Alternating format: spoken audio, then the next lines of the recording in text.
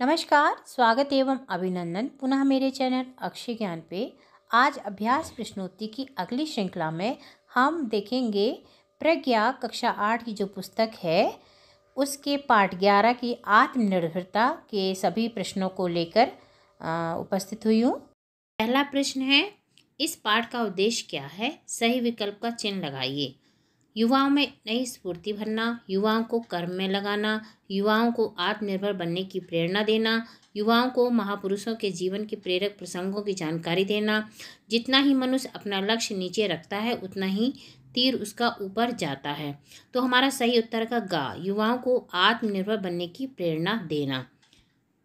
प्रश्न दूसरा, निम्नलिखित पंक्तियों का आशय स्पष्ट कीजिए। नम्रता ही स्वतंत्रता की धात्री या माता है। आशय जिसके पास नम्रता है, वही स्वतंत्र है। जो अहंकारी है वह स्वतंत्र नहीं हो सकता। नम्रता के लिए स्वतंत्रता का गुण होना आवश्यक है। स्वतंत्रता के गुण के लिए बड़ों का आदर करना, छोटों को प्यार करना और सम्मान भाव से देखना ज़रूरी है। खा, युवाओं को यह सदा स्मरण रखना चाहिए कि उसकी आकांक्षाएँ उसकी योग्यता से कहीं बड़ी हुई हैं। आशा है, मनुष्य की आकांक्षाएँ उसके साधन और क्षमता से ज़्यादा हैं उतने ही पैर पसारें जितनी उसकी चादर हो। गा, मनुष्य का बेड़ा उसके हाथ में है, उसे वह चाहे जिधर लगाए। आशा है, मनुष्य अपने कर्मों के लिए स्वयं जिम्मेदार है। वह चाहे तो अच्छा कर सकता है अथवा बुरा भी कर सकता है। वह अपने भाग्य को खुद बनाता है।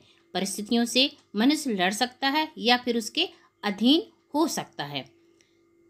इसके पश्चात घा है अध्यवासी लोगों ने अपनी समृद्धि का मार्ग निकाला है। आशय है, चित्रवृत्ति की दृढ़ता से दरिद्र लोग दरिद्रता अपढ़ लोग अज्ञता से निकलकर उन्नत तथा सफल हुए हैं। प्रश्न तीसरा, उपन्यासकार स्टॉक ने अपना ऋण किस तरह उतारा? उत्तर है, उपन्यासकार स्टॉक ने अपनी प्रतिभा का सहारा लेकर अनेक उपन्यास थोड़े समय के बीच लिखकर लाखों का ऋण उतार दिया। अपनी दृढ़ इच्छा शक्ति मेहनत व लगन से बड़े से बड़ा कार्य इंसान कर सकता है।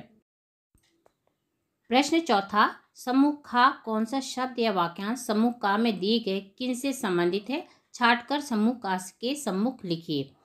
तो समूह खा में है छापामार युद्ध अमेरिका की खोज, धनुर्धर, सत्यवादी, अधीनता नहीं स्वीकार की, सीता की खोज। समूह का में हरिश्चंद्र, महाराणा प्रताप, हनुमान, कोलंबस शिवाजी एकलव्य। तो हरिश्चंद्र सत्यवादी थे, महाराणा प्रताप ने अधीनता नहीं स्वीकार की, हनुमान ने सीता की खोज, कोलंबस ने अमेरिका की खोज, शिवाजी ने छापामार युद्ध और एकलव्य थे धनुर्धर। भाषा की बात, दिए गए शब्दों के पूर्व आत्म लगाकर नए शब्दों की रचना कीजिए। परिचय परिचय में आत्म लगा तो आत्म परिचय नया शब्द बना, चिंतन में आत्मचिंतन, निर्भर में आत्मनिर्भर बोध में, आत्मबोध, कथन में, आत्मकन। तो ये नए शब्द बने।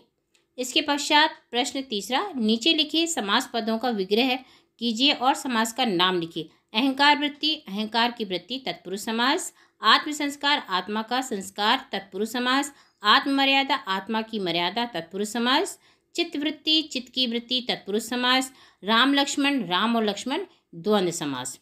इसके पश्चात प्रश्न चौथा, स्वतंत्रता का विपरीत तार्थक है आज़ादी, परतंत्रता, स्वावलंबन। उत्तर होगा परतंत्रता।